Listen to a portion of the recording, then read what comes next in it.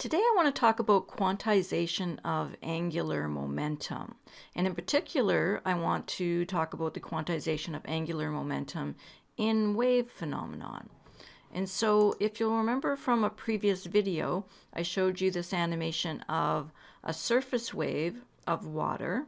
So this is a water wave, and this is a, an interface wave between water and air. And so the way this works is as the air blows, in this direction, it causes the molecules in the water to take on circular motion, and this circular motion is responsible for the uh, creation and propagation of a wave uh, on the water in the direction of the wind. And so the important part here is this circular motion. Okay, I want you to pay attention to this circular motion. I also want you to think about what happens to this circular motion as the wave crashes onto the shoreline. So here is a video I shot of uh, actual waves crashing into the shoreline. So um, as the wind blows, the molecules of the water are set into circular motion and that uh, creates a wave that uh, propagates towards the shore and then when they crash onto the shore I want you to watch carefully to see what happens.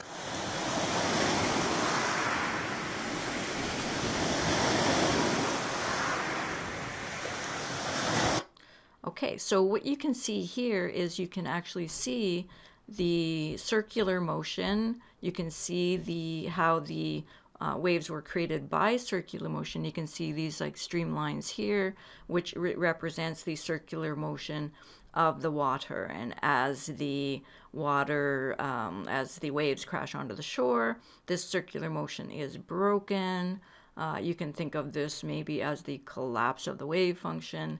The circular motion gets broken, and all of the energy that was stored in that circular motion gets dumped onto the shore.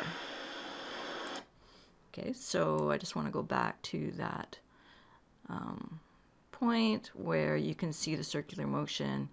Uh, you can, I'm just slowly going, you can see that the circular motion is being broken and um, the wave crashes in the shore and uh, does some work, moves these rocks around. The momentum, the angular momentum, the circular momentum from that wave is converted into um, some sort of, some form of motion in the uh, whatever is sitting on the shore right there. So if I was standing right there, the wave might, the momentum of that wave might push me over. So it seems to me by this analogy and just by pure logic that angular momentum is quantized by the cycle, by this circle of energy. So the complete circle, the complete cycle of energy that's stored in these molecules that are moving in circular motion get dumped onto the uh, the shore. So you know, partial circle, partial energy of a partial circle is not getting dumped. The whole cycle is getting dumped to the shore. So I think this is an important point. And um, what I'm going to show is that um, this may this is not what is done in the mainstream language. In the mainstream language, um, the uh, unit of the radian is used. And I'm going to show you that there might be a flaw in the logic by quantizing angular momentum in radians instead of cycles. So what is a radian? Okay, a radian is an angle in, of a partial angle of a circle such that the arc length of uh, along the circle in this angle is equal to uh, the radius of the circle. So one radian is equal is the angle such that the arc length at the certain radius of a circle is equal to the radius of the circle. So this is true no matter which circle we use. And so if we use this inner circle, then the uh, one radian will give us an arc length uh, at the perimeter of the circle, the circumference of partial circumference of the circle, that equals the radius of the circle. So this is how radians are defined. Um, radians are, you, you know, angles are usually reported in radians. In theoretical physics, they almost always use radians, but you could also use degrees. So the system that you're brought up in is the degrees. And so degrees is also an arbitrary unit. One degree is an arbitrary unit of measure. And in, in standard uh, measuring systems, uh, you have 360 degrees in one cycle, in one circle. And so why did they choose 360 degrees? Because the, the number 360 is divisible by 1, 2, 3, 4, 5, 6, not 7, 8, 9, 10, not 11, and 12. So the so 360, the number 360 is divisible by almost all the digits uh, less than 12 except for 7 and 11. Okay, so 360 is very useful. It's very divisible, and uh, this is why they use 360 because you can divide the circle in so many equal equal ways. So which one is better, uh, radians or degrees? Well, actually neither is better. If you are reporting your results in radians, you use radians. And if you are reporting your results in degrees, you use degrees. So radians and degrees are no more special than um, uh, temperature, than Fahrenheit, Celsius, and Kelvin. Okay, so uh, radian, one radian is an arbitrary angle in a circle, and one degree is an arbitrary angle in a circle. If you look at your calculator, okay, if you bring up your calculator, unfortunately this is kind of small, but you can see that I can use degrees, radians, or I can use grads. Grads is, um, is another standard where they divide the circle into 400 pieces. So uh, 360 degrees is uh, the same as 2 pi, is the same as 400 grads. So here's the problem as I see it. Angles are by convention considered to be dimensionless quantities. In general, angular velocity has dimension of angle per unit time. The SI unit of angular velocity is radians per second, with the radian being a dimensionless quantity. Thus, the SI units for angular velocity are listed as uh, s to the minus 1 or uh, 1 over s. So, in the context of angular velocity, this unit here, 1 over s, literally translates to radians per second. It's my opinion, and I have said this many times in many videos, it is my opinion that placing the numerical uh, value of 1, or any numerical value for that matter, into the unit section of an equation is a mistake. It's, it's a mistake because especially when you actually start using it as the numerical value of 1. For example, the reciprocal of frequency is the time period. Okay, the time, this is the reciprocal of frequency is time period, and by definition of the SI units, this uh, translates to seconds per radian. But because the unit of the radian was replaced with the numerical value of 1 in the unit section, this 1 is seldom, if ever, written. And so then the units of the time period, and now this is a special time period, it's not just any time period.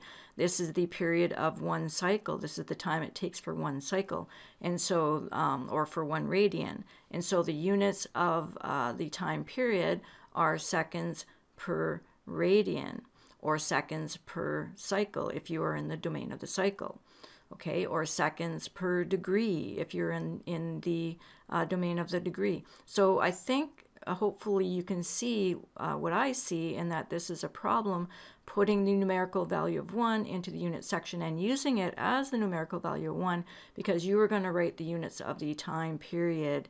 Um, that is, we're talking about wave dynamics here. These are is the, the seconds per a certain number of angles. Um, you need to write that 1 in this case as well.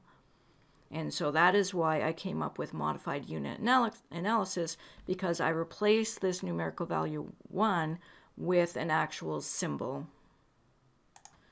So in modified unit analysis, if I'm in the domain of the radian, then frequency is uh, has units radians per second.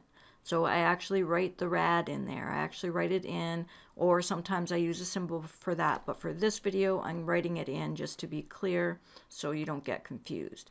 And so the unit of frequency is, I specifically write radians per second. And in the time period, I specifically write seconds per radian. And for wavelength, I specifically write meters per radian. And for the wave number, which isn't uh, doesn't show up too often, but when it does, I write radians per meter. Okay, in modified unit analysis, the units of 2 pi is not a unitless number. The units of 2 pi are radians per cycle. And so as you may know from my previous videos that I don't actually work in the domain of the radian, I actually work in the domain of the cycle. So I am trying to do all of physics in the domain of the cycles. So I want to look at complete cycles like the water wave that I showed at the beginning of this video. Okay, so when I talk about angular momentum, actually I'm going to be talking about uh, circular momentum. So I'm going to actually, when I'm in the domain of the cycle, I'm going to use the term uh, circular momentum. Okay, so in uh, the domain of the cycle, frequency has units cycles per second. The time period, the period for uh, length of time for one wave is seconds per cycle. The wavelength, which is the, if in terms of the circle, is the circumference of the circle, has units meters per cycle.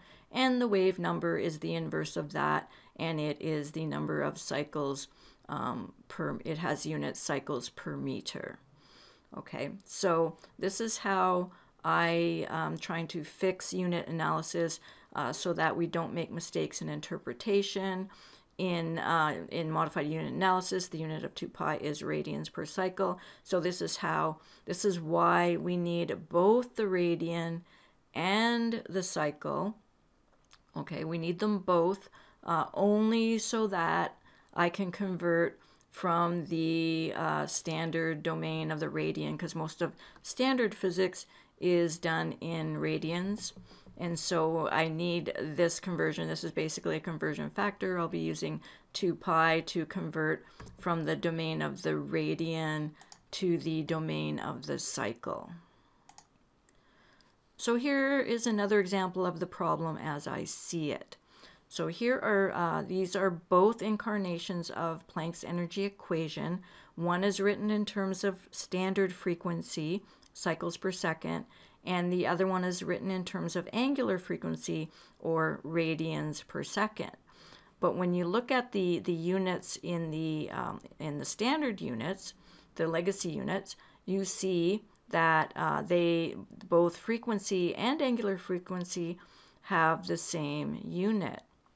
Now you just have to know, I guess, uh, that angular frequency, when you're using angular frequency, that this reads radians per second. And when, you, when you're using standard frequency, this reads cycles per second. But you can't know just by looking at the units what um, which equation this was intended for. And so this is um, an, a, an intuitive problem to me. This is a an intrinsic problem in interpretation because, uh, and this could also be the cause for some confusion. And so that is why in modified unit analysis, I specifically add um, a symbol uh, to represent either the radian or the cycle. And so when you look at these units, I clearly know that I'm using E equals HF. And I, when I look at these units, I know that I'm in the domain of the radian, and therefore I'm using uh, this equation, E equals H bar, reduced Planck's constant, times angular frequency. And so uh, modified unit analysis makes things more clear. And but again, I am more I'm more interested in converting from the domain of the radian to the domain of the cycle. I want to do see if I can do all of physics in the domain of the cycle because and especially if we want to understand quantization because as you saw in the water wave analogy that um, you need that the whole that, that the energy delivered to the shore of the detector to the shore of the uh, wave where the wave crashes is going to be quantized by the whole cycle, the whole circle, and and and the radian is only a partial uh, uh, arc length along the full circumference of the circle, and so I believe that when you're on, in the domain of radians, that you cannot be talking about quantization. The to me, it doesn't seem logical for angular momentum or energy or anything to be quantized by the arbitrary uh, unit of the rad, of the radian. So when you think about it, all the units in the standard, in the international standard, are arbitrary units. The second is arbitrary, the meter is arbitrary, the kilogram is arbitrary, the coulomb is arbitrary. If the radians were in the standard, they would also be arbitrary.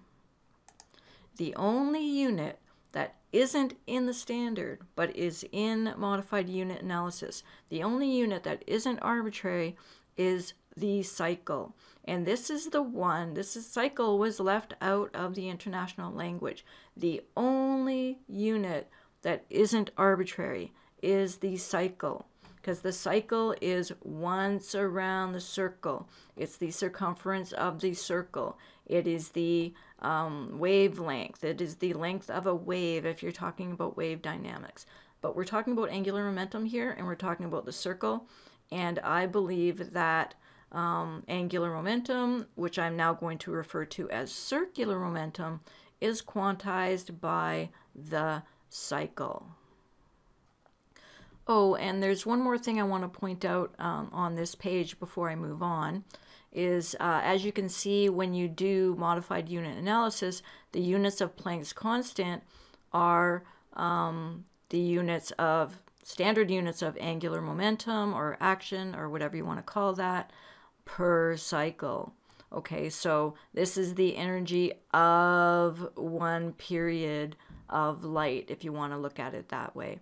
And in this equation, h bar has the units of um, angular momentum per radian. So clearly you can see that when you use h bar, you're also on a per radian uh, basis. You're in the domain of the of the um, radian. And so I want to stick with the domain of the cycle because one complete cycle it makes logical sense that quantization is on a per cycle basis and not on a per the arbitrary radian basis. And so when we're talking, if we're talking about quantization, I think it's important to stick with the domain of the cycle. So in order to convert from the domain of the radian to the domain of the cycle, in order to convert from angular momentum to circular momentum, we need to uh, convert from radians, the domain of the radian, to the domain of the cycle. And so, uh, and this is done by utilizing this unit here, 2 pi, which has the units radians per cycle. So clearly there are 2 pi radians in one cycle. So if you take 2 and multiply it by pi, you get the beautiful 6.28 so um, there are 6.28 uh, of these along this circle. And so this is our conversion factor to help us convert from the domain of the radian to the domain of the cycle. So here is the equation or one of the equations of angular momentum. So here we have angular momentum is equal to the mass times the velocity, mass times velocity, which is momentum, times the radius. And so the distance that, the further away that the, um, say, the particle is from the uh, origin, the uh, higher the angular momentum it is going to have. And this is based on tangential, um, the velocity here is the tangential velocity. Okay, so um, so I'm going to first deal with this velocity term and uh, convert, because normally this is done in the in radians, and I want to convert to the cycle. And so here's the equation for tangential velocity. Tangential velocity is generally written as the radius times the angular frequency, but the angular frequency is in radians per second. And so uh, what I'm going to do is convert um, angular frequency to standard frequency. So 2 pi times cyclic frequency converts to angular frequency. So I'm going to convert back to cyclic frequency. And then I'm going to group this 2 pi with the radius term because we know 2 pi times the radius is the circumference of the circle. And so I can rewrite the tangential velocity and get the right answer, get the same answer by using the circumference of the circle and the standard frequency. So this is how we convert the velocity term from this equation to the domain of the cycle from the domain of the radius. So here is the tangential velocity written in terms of the circumference of the circle. So tangential velocity is the circumference of a circle times the standard frequency, which is in cycles per second. And so the units of velocity, of course, are meters per second. The units of uh, the um, circumference of a circle is meters per cycle, obviously. So this is the number of meters um, of the arc length, the measurement of this arc length of one complete cycle, uh, and not the arbitrary arc length of um, the that is uh, calculated when you are in the domain of the radian. So when you're in the domain of the cycle, you use the whole cycle. So you have to plug in the circumference of the circle uh, to get the right answer. And of course, the units of frequency in modified unit analysis are cycles per second. So I, I, explicitly invented a symbol to correspond to cycles, and this is meters per cycle, and this is cycles per second. So now I'm going to rewrite this equation, the equation for angular momentum, in terms of circular, circular momentum in the domain of cycle. So angular momentum is written for the domain of the radian, okay, and I want to rewrite it in the domain of the one complete cycle. So here is what I've come up with. The uh, circular momentum, not angular momentum, circular momentum is equal to the mass times the tangential velocity, which we converted to the cyclic domain. Of course, it's going to be the same. But then instead of multiplying by the radius, I multiply by the circumference. Okay, so I'm going to get a different value for circular momentum than I will for angular momentum. And so I'm just going to show you the uh, how the units map out. So mass, of course, has units kilogram. Uh, the circumference of a circle has units meters per cycle. The um, frequency in the domain of cycle is cycles per second. So this F term here has unit cycles per second. This second um, uh, circumference term has units meters per cycle. And so these ones cancel and you end up with units of momentum. So this is the momentum of one uh, cycle. So it's the momentum of one turn around the wheel at this distance. And so, of course, as the radius gets bigger, also the circumference gets bigger. So as the circumference gets bigger, the circular momentum also gets bigger.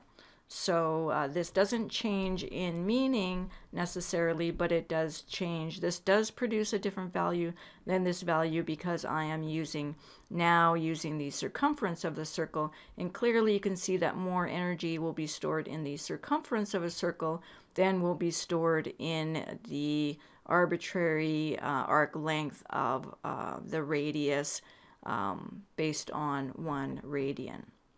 So the point I'm trying to make here is the arbitrariness of the radian as opposed to the non-arbitrary um, nature of the cycle. And that I think we will, and it makes sense that angular momentum would be quantized by the cycle and not by the radian. Okay, so this is um, a conclusion I've come to and if I'm going to switch to the domain of the cycle from the domain of the radius, then I'm going to have to keep in mind that the momentum that I'm calculating is the circular momentum and not the angular momentum in terms of the radian. So getting back to Planck's energy equation, given the logic that I just showed you, it is uh, much more clear to see that Planck's constant, or the, to see the difference between Planck's constant and reduced Planck's constant. Reduced Planck's constant, yeah, does have the um, angular momentum uh, per radian. So this is the angular momentum per radian, and um, and uh, normal Planck's constant, non-reduced Planck's constant, has units of angular momentum per cycle. So modified unit analysis um, is able to help was able to help me distinguish the difference between H and H bar. And uh, I'm able to actually use H. I don't actually need H bar. My goal is to only ever use H and only ever use cycle and never invoke the radian um, and never invoke H bar. And I believe that all of physics can be done uh, in this manner um, on a per cycle basis instead of a per radian basis, and we will get a better understanding of things like the quantization. It makes sense that you know angular momentum and energy is quantized by the one complete cycle because when the as I showed you before, when the wave crashes onto the shore, the whole cycle gets dumped onto the shore. And so that energy, the whole energy of the whole angular momentum of the water molecules um, orbiting in a circle, that uh, whole circle of energy um, gets, um, you know, emitted from the wave and crashes onto the shore. And so I'm going to leave it at that. I think that's enough information for one session. I do want to do one little thing, maybe a little teaser here. Um, I want to remind you about my uh, ohm particle schematic. This is my this is my schematic of a part of a wave part of the wave particle duality. So in this schematic, you can see that this is representing a spinning vortex, obviously. I refer to this as a vortex-antivortex pair. The um, circumference of the circle is, if this is a particle, the circumference of the circle would be the Compton wavelength of the particle. And the radius of the particle is uh, exactly equal to the, uh, what I'm calling charge separation. To the separation between these two dots. And I would and so in terms of interpreting these dots I was actually struggling with coming up with a meaning for these dots. But then I had the help of um, the Martin Fleischmann Memorial Project and and Bob Greenyer and their great research that they're doing into low energy nuclear reactors. And uh, he actually gave sent me this picture where he superimposed the yin yang onto these um, vortex anti-vortex pairs that they're finding in their experiments.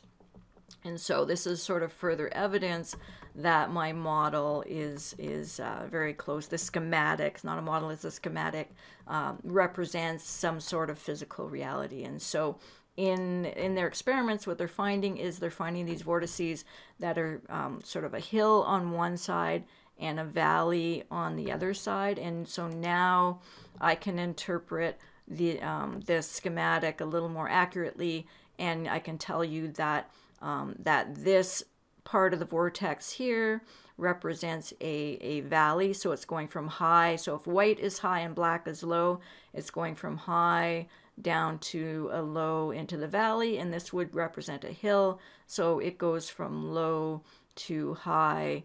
And this would be the peak of a hill. And this would be the um, bottom uh, of the valley. And so this was, uh, I was very excited when I saw this work here. And also the work of uh, John Macken, where he also shows an animation of the exact same uh, vortex anti-vortex pair with a hill on one side and a valley on the other. You could imagine that, you know, this is kind of like a sine wave that is spinning in a vortex structure. And so um, when you look at these together, you can see, so this would represent the valley and this would represent the hill. So here is a video showing John Macken's vortex that, that matches nicely with my schematic. And so I want you to see this. This is another way of representing the distortion of the universal field produced by the rotating wave in the electron's core. So I can now identify my schematic as a rotating vortex pair, a rotating wave, that um, is nicely depicted in the work, both the work of, of John Macken and, um, and Bob Greenyer and the Martin Fleischmann Memorial Project. And so, um, so I think I'm onto some really cool things here. I'm connecting a lot of pieces, um, uh, bringing people together, or at least uh, looking at their puzzle pieces and seeing how they fit into um, into my puzzle. And so uh, that's all I'm going to say for now. Um, I have been very busy with my NFT project. I want to make a video about that in, in a little bit. And I want to offer my YouTube subscribers um, maybe a special whitelist, um, put you on the whitelist for my collection when I uh, set it up to mint. And so if you think you might be interested in that, let me know. Uh, I don't want to bother you guys with my NFT project if you're not interested in in it. But uh, if you are, then I would really like to know. So I hope you guys have a, are having a great weekend, and um, I'll be back.